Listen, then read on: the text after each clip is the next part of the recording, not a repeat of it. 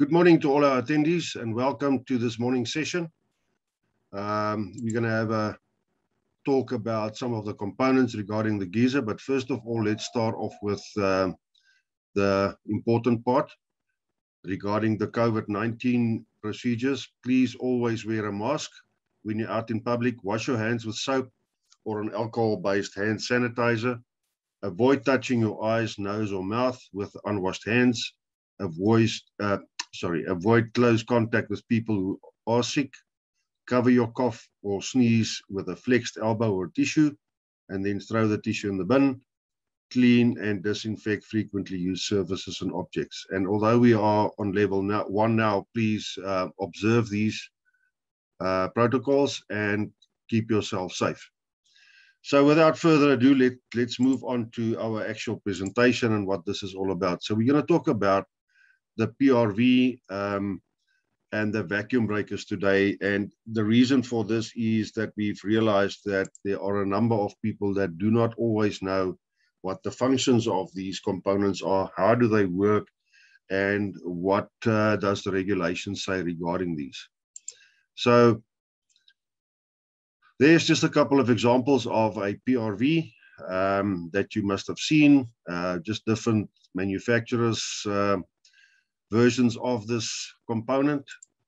Um, so if we look at the PRV itself, um, two functions, and you might have realized, and, and, most of you will know that the components around the geyser all have two functions. Now, in this situation, again, the same thing. The PRV function, the actual pressure regulating valve function is to reduce, maintain, and regulate the incoming supplied water pressure for a system at the preset limit of the specific valve. Now, we all know these are color-coded, and uh, the color codes that we use mostly when it comes to a PRV is the red one, which is 400 kPa, or the green one, which is 600 kPa. So that is regarding the PRV itself. And then on top of this, uh, of this one, we have uh, the expansion um, relief valve, which is incorporated.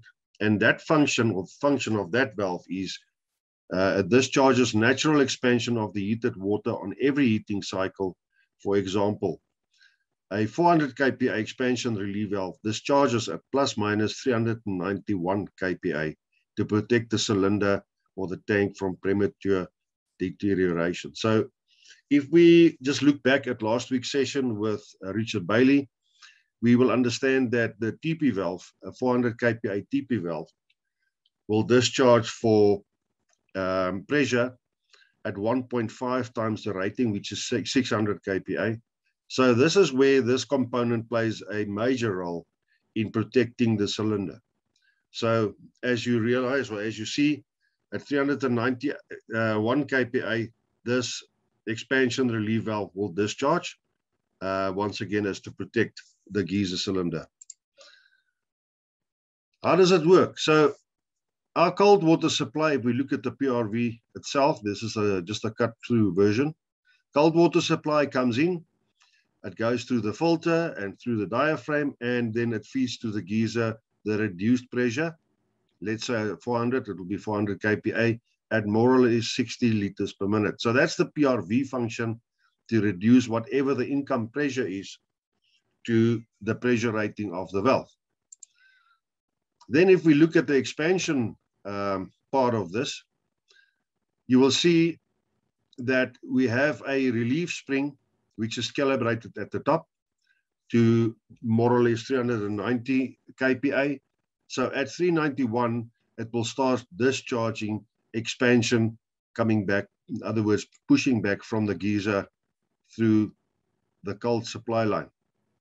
So if we look at expansion, 150 liters of water increases in volume up to about two liters when it's heated on every heating cycle. So that extra volume, due to the fact that water cannot be compressed, needs to be released or else it will cause the geyser to be damaged. And so you often most probably get the question from the client, why is there water dripping out of that little pipe there? And this is the way to explain it, is that on your heating cycle with water expanding. It needs to discharge to protect the geyser, and it can discharge between two to four liters on a daily basis. So let's uh, look at what the SANS regulation says regarding this. SANS 10254, 5.6 regarding main shutoff. So at 5.6.1, it says for the ease of maintenance, the inlet pipe to a pressure control valve and to a float, float valve shall be furnished with an isolating valve. Now, guys, if we look at the example here, this is what we know as a multi-valve, which incorporates an isolating valve there. But over and above for that, even if that is part of the valve, we still need to have an isolating valve um, installed before this valve so that we can service it. So if we cannot isolate the water, um, or even if we use this isolating valve on the PRV, we won't be able to remove this component for service. So just remember, you need to have an isolating valve in any case before any PRV. Then in uh, 5.6.3, it says an isolating valve shall not be provided between any pressure reducing valve and a water heater if such a pressure reducing valve incorporates an expansion relief device or a vacuum relief device intended to protect. So in this instance, once again, your expansion relief is incorporated into the PRV. So the actual uh, rule of thumb is wherever you've got an expansion relief valve, you cannot have any flow control device between that expansion relief and the geyser. And that's why this regulation says uh, this is what we need to do. On 5.9.2, it says the position of the pressure control valve shall be downstream of all high draw-off points, which is basically your garden taps, or in uh, flats and, and these type of units, you might get a mains fed toilet flush valve. So garden taps needs to be drawn off between the water meter and the PRV and not after the PRV. Then we're talking about the expansion control valve, and that will just reiterate what I just said now. 5.8 says the expansion control valve on cold water supply. When an expansion control valve is installed on the cold water side of the water heater, it shall be installed downstream of any isolating valve, gate valve, non-return valve, or any flow control device. So guys, this is, uh, as I say, this, this supports what I just said earlier. So in this picture here, we cannot have an isolating valve or any of these flow control devices between the PRV where there's an expansion control valve present and the geyser.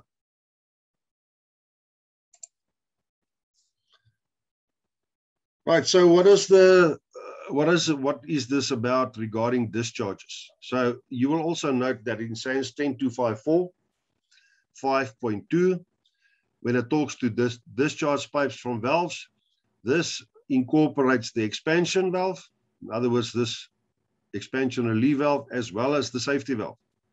And it says, this pipe shall be of a size not less than the size of the connection to which they are fitted. In other words, if that is a 15 mil connection, it needs to be 15 mil or 22 for that matter, if that is the size. So we need to continue with that size from the start to the end. It must have three or fewer bends, and for each additional bend, the maximum drain pipe length shall be reduced by 600 millimeters. So just to come back to the TP valve, we this is most um, applicable in uh, we all know that we have got four meters on the TP valve discharge before we need to increase the pipe diameter. Now, in the event of, uh, so let me go back, sorry. The, the regulation is clear that you need to only use three or fewer bends of a 45 degree radius. So if we look at uh, a situation where you need to install a geyser and for some other reason it's placed in such a way that you need to now use four 45 degree bends, then this is where the 600 millimeter comes to comes into play. So in that instance, for every additional elbow, that four meter length will be reduced with 600 millimeters. So in actual fact, if you have to use four and your pipe length is four meters to the external um, discharge point, then that length, that maximum length allowed is only 3.4 now due to this uh, stipulation in the regulation. So then it carries on and it says the discharge pipe from the extension, expansion control and safety of shall be so installed that they incline downwards continuously to the outlet. The drainage of both valve and piping is ensured. Blockage due to freezing or foreign objects is prevented. When flow occurs from them, the flow can be readily observed with the minimum risk of injury or damage due to steam or hot water. They are never joined together. Each is led to a discharge point which is visible outside the building and in a position where the discharge from the pipe will not cause a nuisance and cannot become blocked.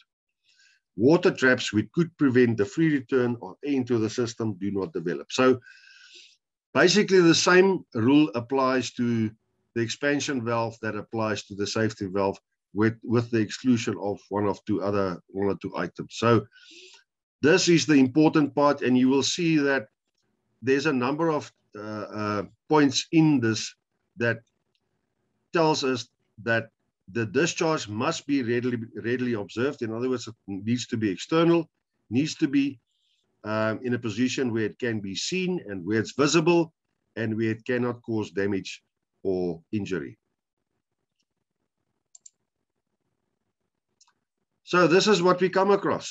Um, here's a fantastic PRV that's been installed.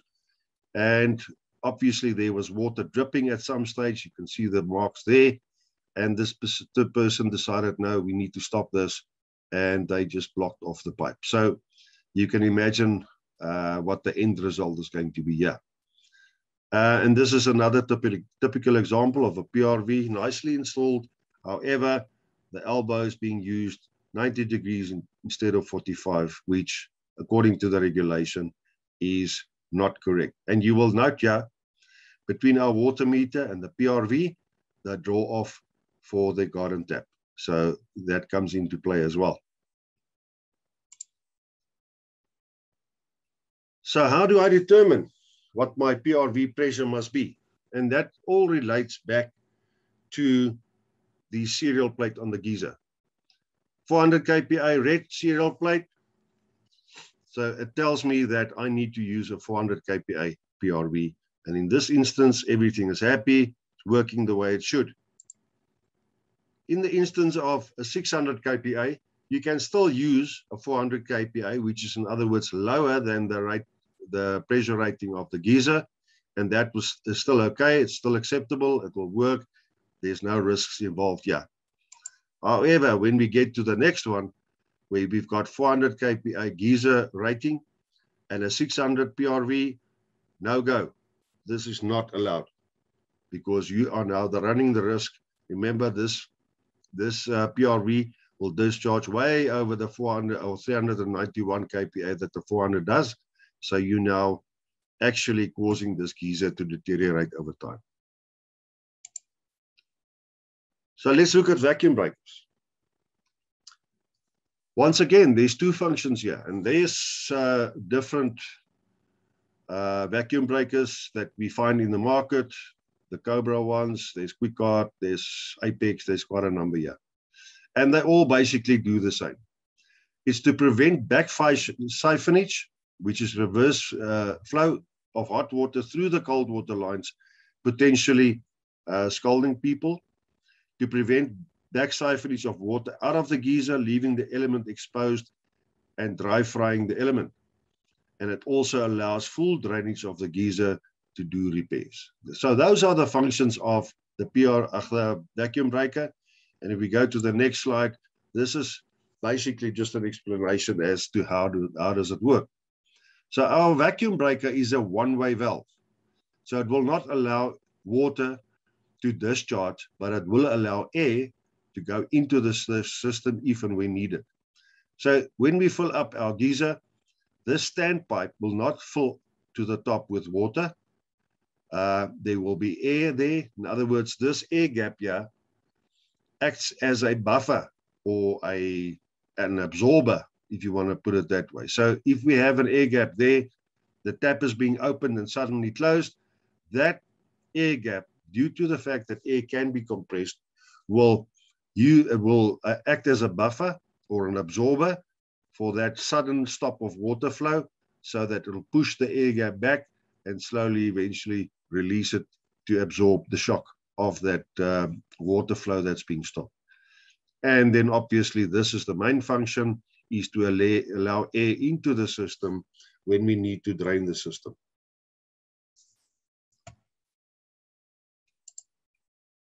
So what does the SANS code says? SANS 10252, part one, when it comes to vacuum breakers, it says the vacuum re uh, relief valve shall be installed on the inlet and outlet side in the following positions to prevent drainage of the water heater and the collapse of the heater. Number one, as close as practical, uh, practicable to the water heater that is to be protected. And number two, on upstands that are provided in both the cold water uh, feed to and the hot water feed pipe from the water heater. And such upstand shall, be, shall extend at least 300 millimeters above the top of the water heater.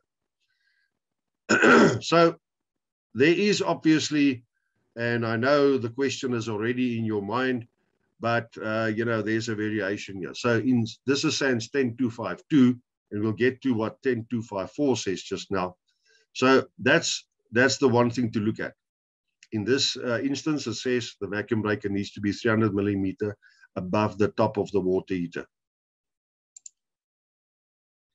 So this is just a little sketch of a horizontal installation, and there it's there it is, 300 millimeters higher than the top of the geyser on both sides. And you will note here that the outlet is on the top of the geyser, not on the side. So in this instance, 300 millimeters higher than the top of this geyser. So whether it is horizontal or vertical, the same rule applies. Here's a vertical geyser, and again, you'll see 300 millimeters higher than the top of the geyser. So what does 10254 say about vacuum breakers? 10254 says, when installed at a horizontal distance of more than 700 millimeters from the outlet, in other words, the hot side, the vacuum control valve may be T, directly into the hot water supply line unless the manufacturer's installation instruction or the local authority uh, bylaws require the vacuum breaker to be mounted on 300 millimeters risers. So see the difference here. Yeah, it says it needs to be installed on risers. And that's due to the fact that some of our geysers that we find has got an outlet on the side. Let's say, for instance, yeah, in instead of on the top like this one. So in that instance, you need to install the vacuum breaker on a 300 millimeter riser and it still complies. The manufacturer is happy. The um, the warranties will be intact, so everything is hunky-dory. Now, coming back to the 700 millimeter. So in this instance, you can see the roof here is preventing this standpipe to be 300 millimeters. So in that instance, you can go 700 millimeter along the hot water, install a T, and directly above the T, install your vacuum breaker. And that is still in line with the regulation. In this instance, they did install a standpipe, but that is not even necessary. If it is 700 millimeter or further, you can install your vacuum breaker right at the top of that T. So let's like look at the anti-siphon loop. SANS 10252, um, part 1, 8.4.2 says backflow prevention devices, in other words, a vacuum breaker, and any backflow prevention device shall be installed in such a position that, in the case of a vacuum breaker, it is installed in an appropriate anti-siphon loop. So here's our vacuum breaker, and this is what we are talking about. This section here is the anti-siphon loop, and you will note that the horizontal leg of your anti-siphon loop needs to be higher than the water level or higher than the top of the geyser to make it effective. And that's what this is all about. So it's not only the vacuum breaker, but also the anti-siphon loop that will prevent or will assist to prevent this geyser from draining when water flow is, is being stopped.